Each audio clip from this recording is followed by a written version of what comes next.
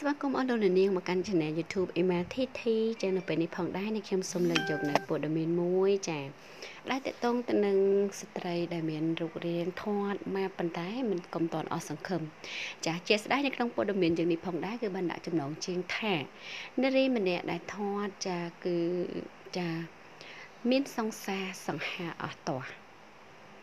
ចាអញ្ចឹងព័ត៌មាននេះដែរគឺចាដកស្រង់ចេញពីបរទេសមកចាអញ្ចឹងជាការពិតណាស់រូបភាពជាច្រើនសន្លឹកដ៏សែនផ្អែមល្ហែមរបស់គូស្នេហ៍មួយគូនេះគឺត្រូវបានបង្ហោះចែកចាយដោយតាក់ភ្នែកនិងទាមទារការចាប់អារម្មណ៍ខ្លាំងពីសំណាក់អ្នកលេងសង្គមចិន ធ្វើឲ្យលួចមានកូនចិត្តច្រណែននិងស្នេហារបស់អ្នកទាំងពីររូបរាងខ្ពស់ស្រឡះសង្ហាមិនចាញ់តារាខណៈដែលខាងស្រីវិញ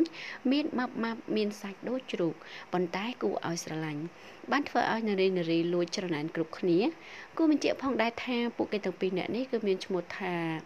លីយ៉ាងនិងយ៉ាងយ៉ាងដែលពួកគេគឺខុសមានគ្នាស្រឡះ ធ្វើឲ្យមានភាពល្បីល្បាញនៅក្នុងឆ្នាំ2019ប៉ុ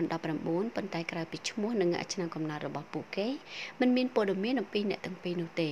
យោងតាមប្រព័ន្ធផ្សព្វផ្សាយគូស្នេហ៍វ័យជំទង់កំឡោះក្រមុំបានល្បីល្បាញក្នុងបណ្ដាញសង្គម TikTok ដែលមានអ្នកតាមដានរហូតដល់ទៅជិត1លានអ្នកឯណោះយ៉ាងណាមិញក៏មានអ្នកកោតសរសើរអំពីស្នេហាពិតរបស់ពួកគេ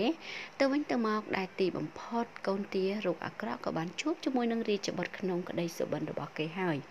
ទៀតសោះក៏មានអ្នកមួយចំនួនទៀតគិតថាស្នេហារបស់ពួកគេគ្រាន់តែជាការសម្ដែងដើម្បីទាមទារចំណាប់អារម្មណ៍ទទួលបានភាពល្បីល្បាញតែប៉ុណ្ណោះចាអញ្ចឹងគាត់គឺជាតារាចាល្បីល្បាញនៅក្នុងបណ្ដាញសង្គម TikTok ចាអញ្ចឹងធ្វើឲ្យអ្នកខ្លះណាក៏គាត់អត់ជឿទេថាជាគូស្នេហ៍ពិតប្រាកដណាគ្រាន់តែជាការសម្ដែងដើម្បីទាញយកជាប្រយោជន៍ភាពពីបណ្ដាញសង្គមតែប៉ុណ្ណោះចាអញ្ចឹងបើសិនជាមានអ្វីថ្មីប្លែកនេះខ្ញុំនឹងបន្តជូនទៅទៅនឹងចាគូស្នេហ៍មួយគូនេះដែលខុសមាតគ្នាណាចា